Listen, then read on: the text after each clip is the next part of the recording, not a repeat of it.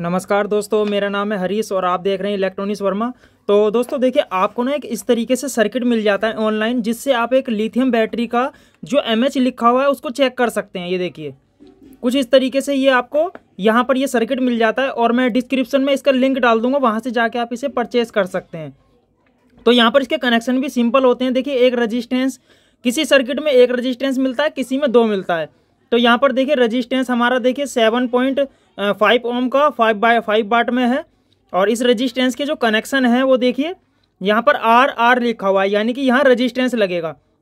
Resistance यहाँ इसलिए लगाया जाता है क्योंकि हम इस बैटरी की जब कैपेसिटी को चेक करेंगे तो हमें यहाँ पर इस बैटरी को डिस्चार्ज करना पड़ता है तो यहाँ पर लोड रजिस्टेंस लगाया जाता है। तो यहाँ पर देखिए, और ये एक हमने होल्डर लगा दिया लिथियम का। होल्डर के अंदर यहाँ पर लिखा हुआ है, देखिए माइनस प्लस तो होल्डर हमारा माइनस प्लस पे लग जाएगा। अब यहाँ पर हमें इस बैटरी को जब हम चार्ज चेक करेंगे कि इस पर जो ये तीन हज़ार एम लिखा हुआ है है या नहीं तो हम यहाँ पर सबसे पहले हमें इसे क्या करना होगा? फुल चार्ज करना होगा। तो हम इसे यहाँ पर चार्जिंग पे लगा देते हैं। ये हमने यहाँ पर इसे चार्जिंग पे लगा दिया है। अब ये जब हमारी बैटरी फुल चार्ज हो जाएगी तो हम फिर इस वाले सर्किट से इसे चेक करेंगे कि ये सर्किट से जो ये एमएच इसमें तीन हज़ार लिखा हुआ है, ये तीन हज़ार है या नहीं है। क्योंकि इस सर्किट से आप कोई भी लिथियम बैटरी को चेक कर सकते हो।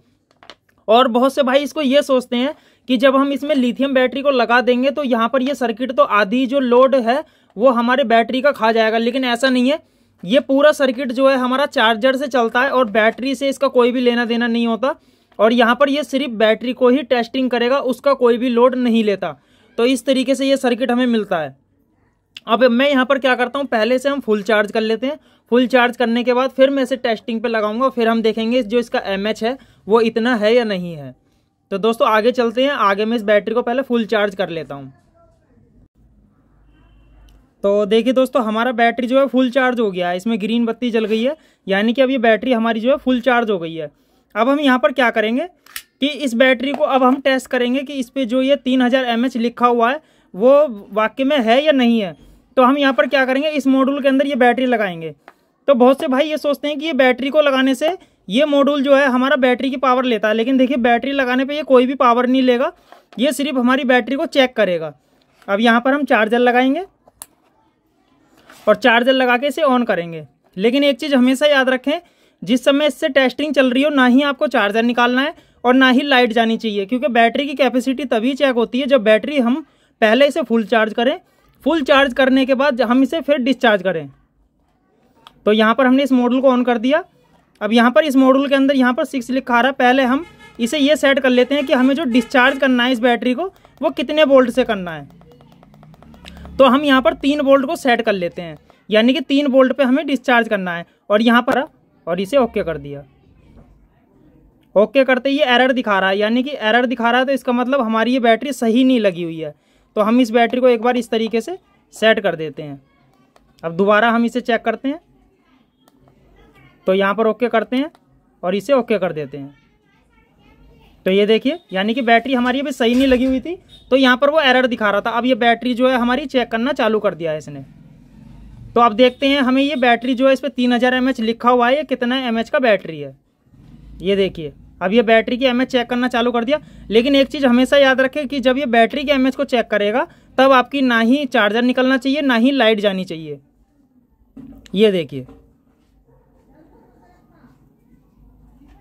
तो यहाँ पर देखिए, बैटरी की वोल्टेज भी दिखा रहा है, और बैटरी कितना एमएच इसने चेक कर दिया है वो भी दिखा रहा है। और ये अब चेक चेकिंग चालू हो गई है तो लेकिन एक बैटरी को चेक करने में कम से कम इसको दो से ढाई घंटे, तीन घंटे या चार घंटे भी लग सकते हैं। ये देखिए। तो दोस्तों, अब हम इसे कुछ देर के लिए छोड़ देते हैं और फिर देखते हैं कि जो इसकी बैटरी की जो एमएच है, वो कितनी चेक होती है। तो देखिए दोस्तों तीन से चार घंटे के बाद बैटरी हमारी पूरी तरह टेस्टिंग हो चुकी है। और देखिए टेस्टिंग में जो इसकी एम्पियर देखिए, यहाँ पर दिखा रहे हैं एमएच जो है एक हज़ार सेवेंटी एट यानी कि ये ग्यारह सौ कुछ एमएच का बैटरी है और इस पर लिखा हुआ है तीन हज़ार।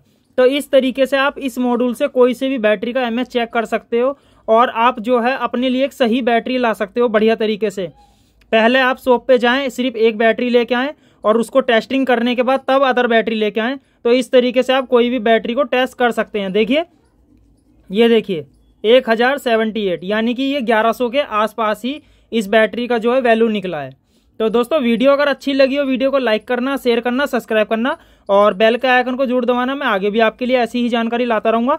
और ये वाला मॉड्यूल का लिंक जो है, मैं डिस्क्रिप्शन में डाल दूँगा। वहाँ से जाके आप इसे परचेज कर सकते हैं।